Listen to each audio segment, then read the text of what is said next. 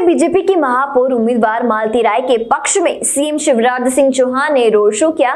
भोपाल के नरेला विधानसभा में सीएम शिवराज सिंह चौहान, चिकित्सा शिक्षा मंत्री विश्वास सारंग और बीजेपी की महापौर उम्मीदवार मालती राय ने जनता के बीच जाकर बीजेपी को वोट देने की अपील की।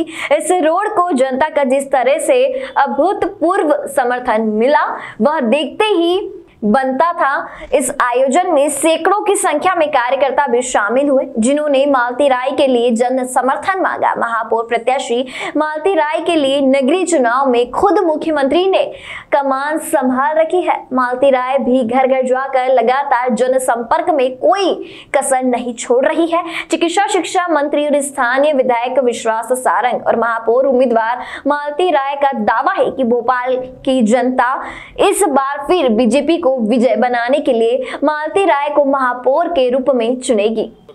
जल्दी करो भैया सीएम साहब आने वाले हैं। आप नरेला की जनता के बीच में क्या कहना चाहेंगे? नरेला की शान है भोपाल।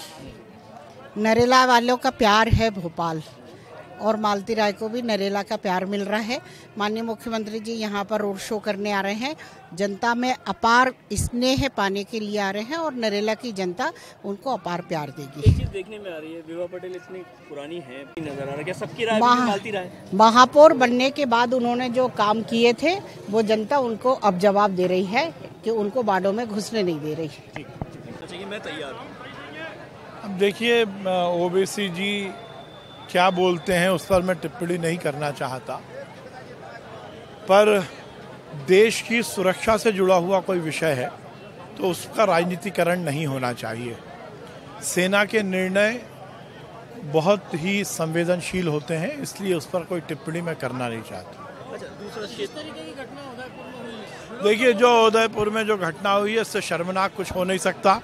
और कांग्रेस की सरकार में सरे राह जिस प्रकार से एक व्यक्ति को की हत्या की गई है इससे शर्मनाक कुछ हो नहीं सकता। सर सीएम साहब लगातार पे नज़र नहीं आ रहे अब देखिए कमलनाथ की और शिवराज जी की आप तुलना क्यों कर रहे हैं?